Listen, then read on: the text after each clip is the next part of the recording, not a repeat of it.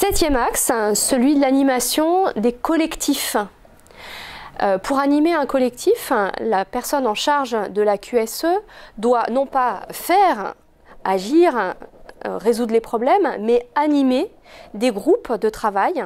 Comment optimiser ces groupes de travail? Une des clés est dans la composition des groupes.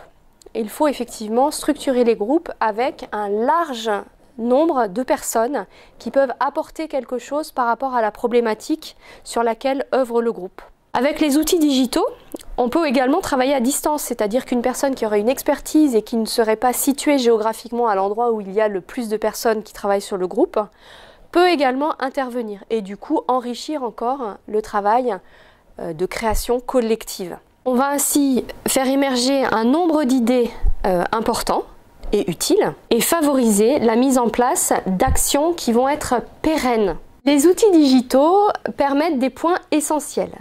Premièrement, l'enregistrement des problématiques et leur traitement.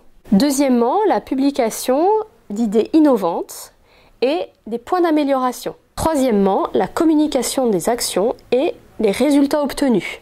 Quatrièmement, l'organisation du suivi des actions. Cinquièmement, la centralisation des bonnes pratiques et des retours d'expérience. Un enjeu des collectifs de co-création c'est d'intégrer toutes les personnes qui peuvent être concernées.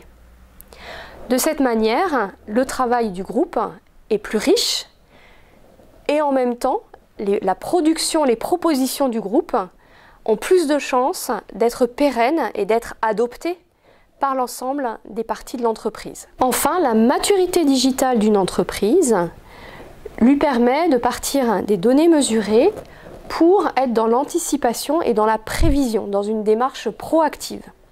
Et ça, c'est un axe de développement pour les entreprises à moindre maturité.